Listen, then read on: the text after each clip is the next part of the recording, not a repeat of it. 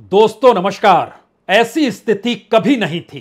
राष्ट्रपति खामोश हो जाएँ, प्रधानमंत्री मुखौटा ओढ़ ले और अपराधी सांसद जिस पर आरोप लगे हों वह चकाचौंध और चमकीली गाड़ी में इस देश के संसद के भीतर आकर खड़ा हो जाए और फप्तियाँ कसता हुआ नज़र आए। ऐसी स्थिति कभी नहीं थी कि टेलीविज़न के स्क्रीन पर ठहाके लगते हुए दिखाई दें। और तो और पास्को कानून जो सुप्रीम कोर्ट के ज़रिए बनाया गया, पास किया गया, उसको भी बदलने की गुहार, जिस पर आरोप लगे हैं, वह खुले तौर पर इजहार करता हुआ दिखाई दे। और पुलिस, जिन्होंने न्याय की गुहार लगाई, उन्हें ही अपराधी करार देकर उनके खिलाफ कार्रवाई की शुरुआत कर दे।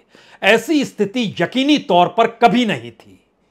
तो क्या वाकई इस देश के भीतर में न्याय की गुहार एक अपराध सरीखी परिस्थिति हो चली है?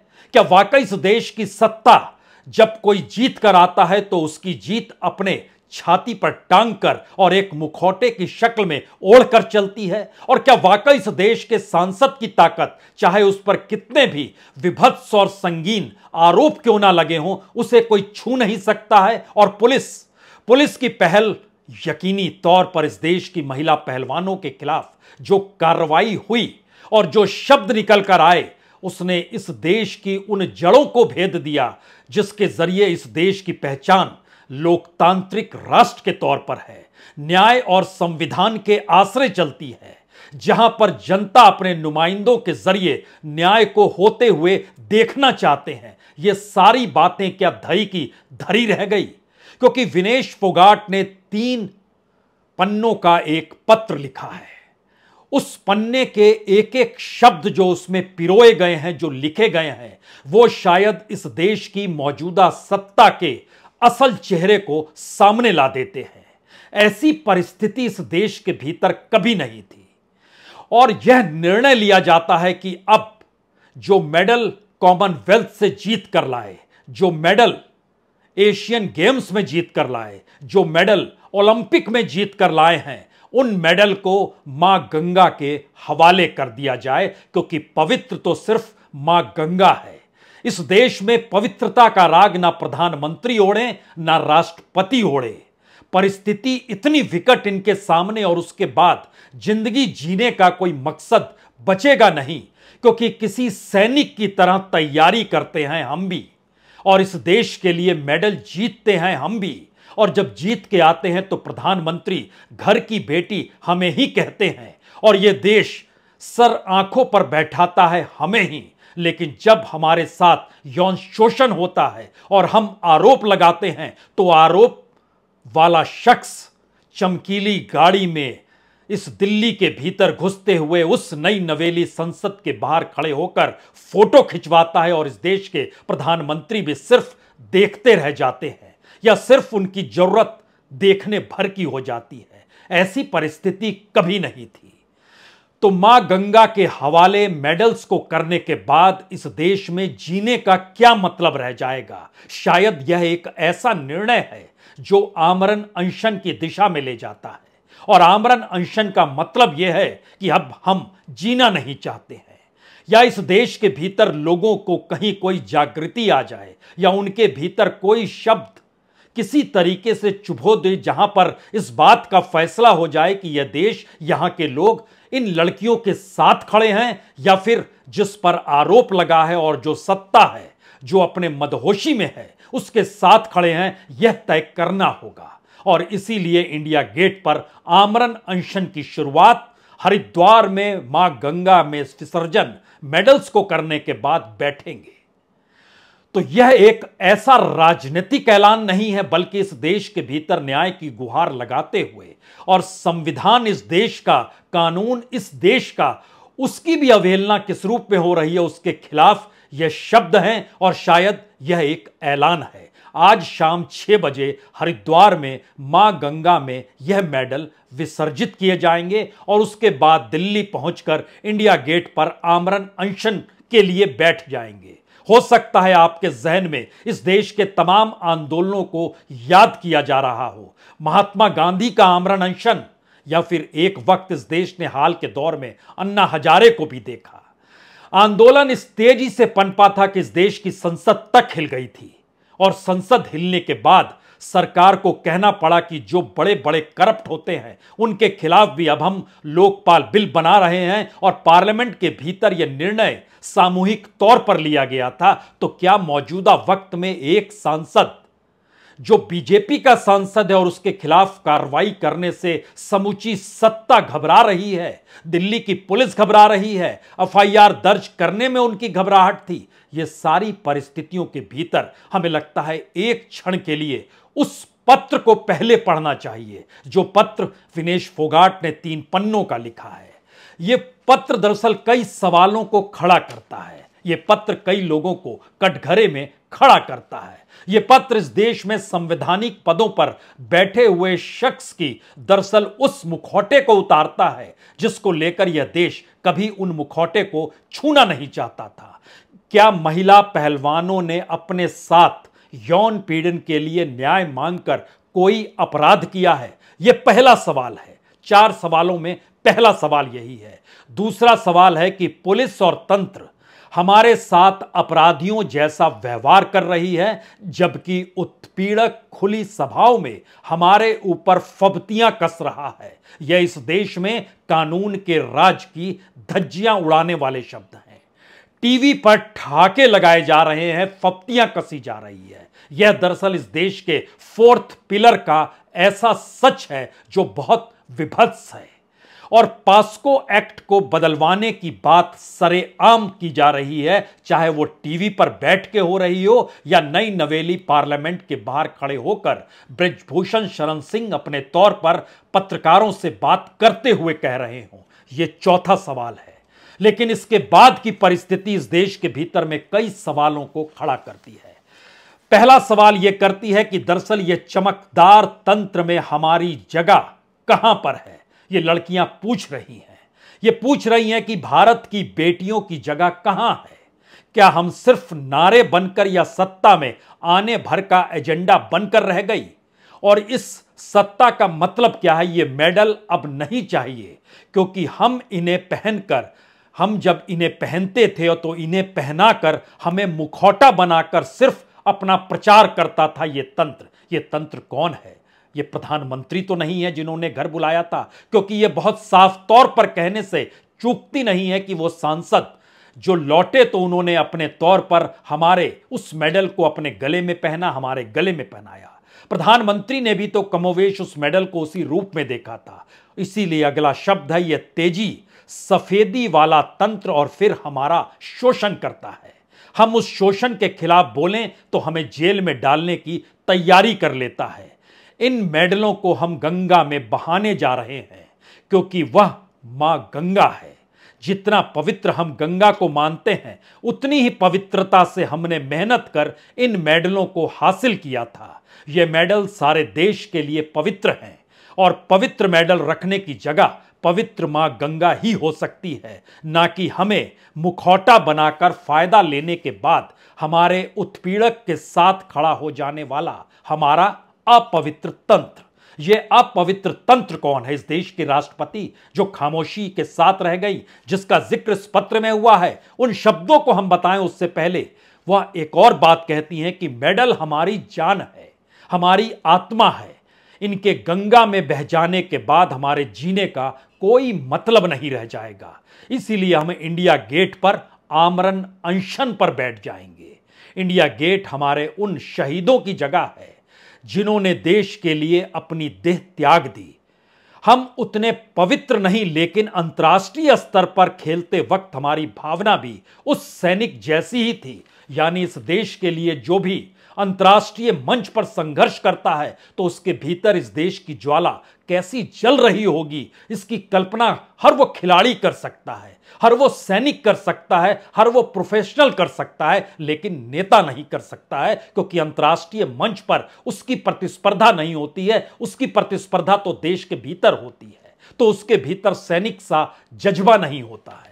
इस देश को लेकर वो सम्मान उन नेताओं में नहीं होता है जो अंतर्राष्ट्रीय तौर पर देश के लिए जीने और मरने के आधार पर संघर्ष करते हुए नज़र आते हैं, क्योंकि इसके बाद शब्द बहुत साफ़ लिखे गए हैं। अपवित्र तंत्र अपना काम अपनी जगह करता रहे। हम अपना काम अपनी जगह पर करेंगे। अब लोग को सोचना है, यानी इस देश को सोचना है कि वह किसके साथ खड़े होंगे।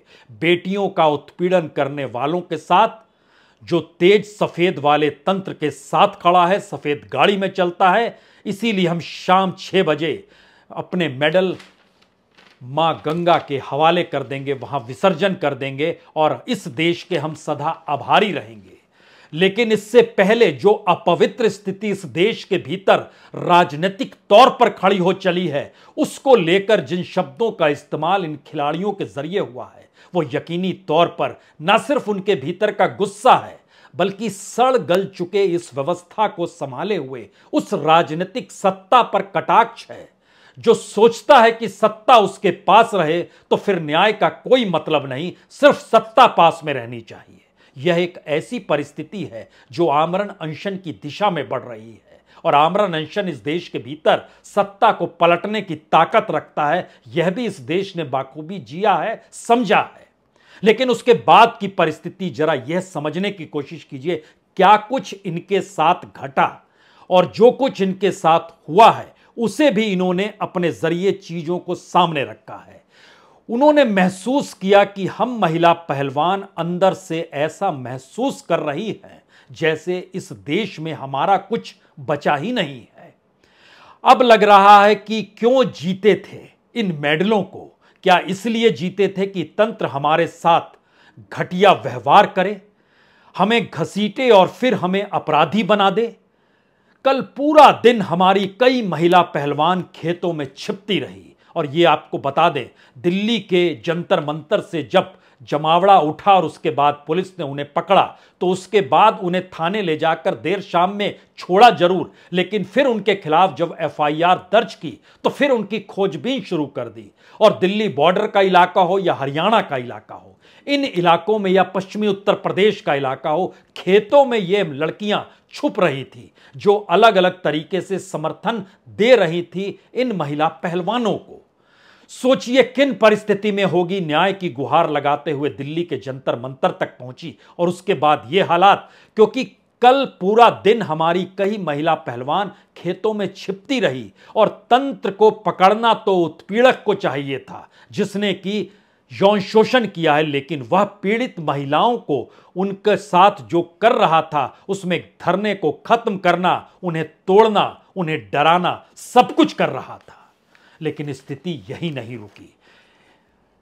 इस देश की राष्ट्रपति को लेकर भी सवाल किए गए, लेकिन उससे पहले यह लिखा गया कि अब लग रहा है कि हमारे गले में सजे इन मेडलों का कोई मतलब नहीं रह गया है। इनके लौटाने भर से हमें मौत महसूस हो रही है, लेकिन अपने आत्मसम्मान के साथ समझौता करके भी क्या जीना। इसीलिए आमरण अनशन की दिशा में इस मेडल के प्रसर्जन के बाद का सवाल सीधे तौर पर देश के सामने इन महिला पहलवानों ने रख दिया है। लेकिन सवाल तो इस देश के राष्ट्रपति और प्रधानमंत्री से भी है। इसीलिए यह सवाल किया गया कि राष्ट्रपति को लौटाएँ। इन मेडलों को यह हमारे जहन में ज़रूर चल रहा था। और हम सोच रहे थे कि राष्ट्रपति तो प्रथम नागरिक होते हैं। तो उन्हें तो यह मेडल लौटाया जा सकता है। जो खुद इस वक्त एक महिला है। लेकिन मन ने कहा, क्योंकि वह हमसे सिर्फ़ दो किलोमीटर की दूरी पर थी और वो बैठकर देखती रही और कुछ भी नहीं उन्होंने कहा यह कैसी परिस्थिति है कि एक लड़की न्याय की गुहार, वह भी यौन शोषण के खिलाफ और इस देश की राष्ट्रपति, महिला आदिवासी जो पहली बार बनी है, वह भी खामोश और दूरी सिर्फ़ दो किलोमीटर की, यानी जंतर मंतर से राष्ट्रपति भवन, दो किलोमीटर से भी कम की दूरी बावजूद इसके उन्होंने खामोशी बरती।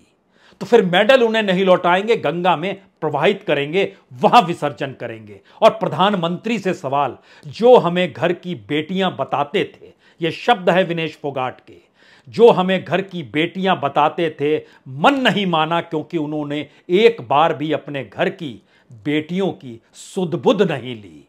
बल्कि नई संसद के उद्घाटन में हमारे उत्पीड़क को बुलाया, यानी ब्रजभूषण शरण सिंह को बुलाया, और वह तेज सफ़ेद वाली चमकदार कपड़ों में फ़ोटो खिंचवाता रहा। उनकी सफेदी हमें चुभ रही थी। मानो कह रही हो कि मैं ही तंत्र हूँ, और अगर जिसने यौन शोषण किया वही तंत्र है और उसका निमंत्रण, उसको निमंत्रण प्रधानमंत्री का और प्रधानमंत्री के साथ, वह उसी संसद भवन के भीतर, जहाँ पर वह खुशी के साथ अपनी सफ़ेद चमचमाती गाड़ी में खुश है और उसके बाद फफ्तियाँ कसी जा रही हैं तो इससे विभत्स स्थिति इस देश के भीतर कब आई थी, यह सिर्फ़ आप कल्पना कर सकते हैं। शायद इसीलिए अब तीन सवाल इस देश के सामने हैं। पहला सवाल, न्याय की गुहार में महिला पहलवानों को क्या वाकई? अब आमरण अनशन की परिस्थिति में जाकर खुद की ज़िंदगी को खत्म कर देना चाहिए यह देश तैयार है क्या? इसके लिए भी। वो खामोशी बरतेगा और राष्ट्रपति भी खामोशी बरतेंगी और प्रधानमंत्री अपनी सियासत साधेंगे यह पहला सवाल है। दूसरा सवाल, इस देश के भीतर में जो कानून का राज है, अगर वो डगमगा चुका है अगर उसके आश्रय न्याय की गुहार कोई भी लगाए और वो सत्ता के करीब नहीं है, सत्ता के अनुकूल नहीं है तो उसे न्याय नहीं मिलेगा। तो क्यों और किस रूप में इस देश के भीतर सरकारें संविधान की शपथ लेकर कानून के राज का ज़िक्र करती है? क्या राजनीति ने और सत्ता की राजनीति ने इस देश को अंदर से इतना खोखला बना दिया है? यह फैसला भी आप ही के सामने है।